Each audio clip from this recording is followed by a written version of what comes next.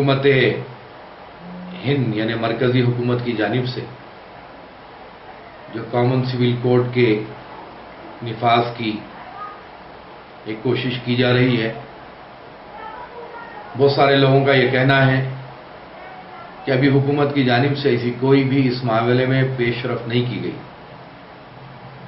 लेकिन अगर 2014 के आम इंतबात का जो बीजेपी का मंशूर था, जो इलेक्शन मैनिफेस्टो था, उसके अंदर बीजेपी पार्टी ने इस बात को वाजे किया था कि जब वो इकतदार में आएँगे तो कॉमन सिविल कोड का निफाज अमल में लाएँगे। और इसी की एक कड़ी जो सुप्रीम कोर्ट में कुछ खवातीन की जानब से अपील दायर की गई कि कॉमन सिविल कोड के निफाज को अमल में लाना चाहिए। और तीन तलाक का जो मसला है, उस पर पाबंदी आयद करनी चाहिए। इन्हीं हालात को देखते हुए सीरतुलनबी एकेडमी की जानब से मैं बहसीत सदर सीरतुलनबी एकेडमी सुप्रीम कोर्ट में इम्प्लीट पिटिशन मैंने दाखिल किया है और उसकी समात 6 सितंबर को कोर्ट ने मुकर की है।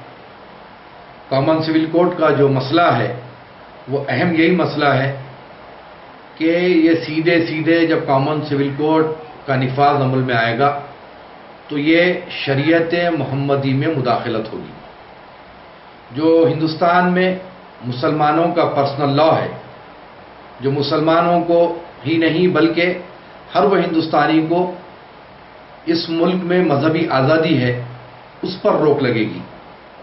और जहाँ तक कि मसला तीन तलाक का है, एक से जायद शादी का है, तरके का है, और ऐसे कई मसाइल हैं जो कॉमन सिविल कोड के निफाज से वो सारी चीज़ें मुतासर होगी। और कॉमन सिविल कोड का निफाज सीधे सीधे ये बात की तरफ़ इशारा करता है कि जब कॉमन सिविल कोड को लाया जाएगा तो शरीयत मोहम्मदी सल्लल्लाहु अलैहि वसल्लम में मुदाखलत होगी। जो हिंदुस्तान का मुसलमान सुबह क़यामत तक राय बराबर भी किसी किस्म की शरीयत मोहम्मदी में मुदाखलत को बर्दाश्त नहीं करेगा।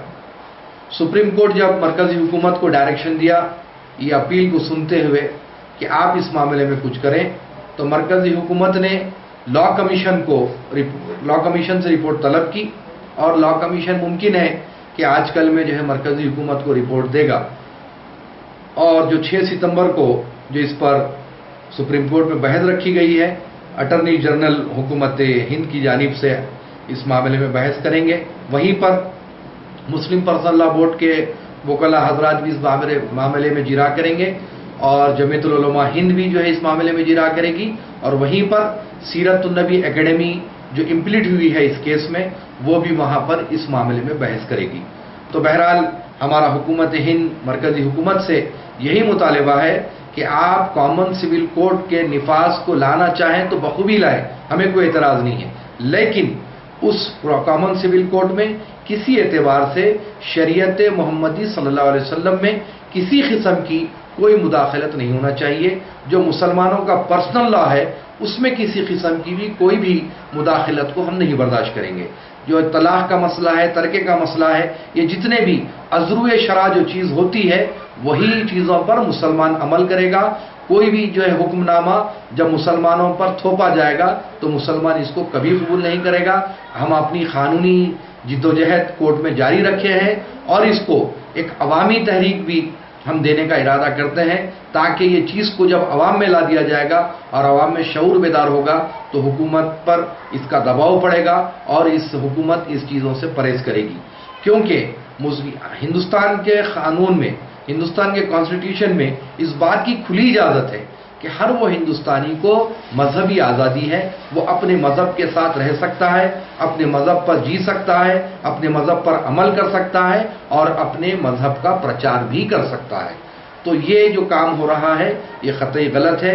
बल्कि अगर मैं यूँ कहूँ तो गलत ना होगा कि कॉमन सिविल कोड कॉन्स्टिट्यूशन के खिलाफ होगा, क्योंकि कॉन्स्टिट्यूशन हर वो शहरी को मजहबी आज़ादी देता है, और अगर कॉमन सिविल कोड का निफाज होगा तो यहाँ पर मजहबी आज़ादी छीन ली जाएगी, जो मुसलमान कभी भी इस चीज़ को बर्दाश्त नहीं करेगा।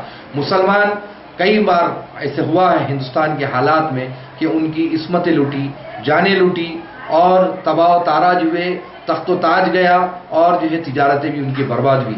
हर चीज़ को मुसलमान अपने वतन की मोहब्बत को देखते हुए खामोश सबर किया है, लेकिन शरीयत मोहम्मदी सल्लल्लाहु अलैहि वसल्लम में न कभी तब्दीली आई थी, न सुबह क़यामत तक राय बराबर भी कोई तब्दीली आ नहीं सकती।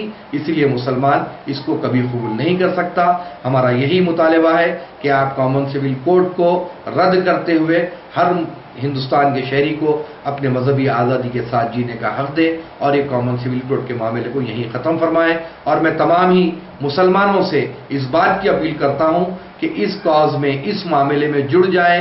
तमाम ही मकतब मकातब फ़िक्र के लोगों से मेरी गुजारिश है, सारे लोग इस मामले में एकजुट हो जाए।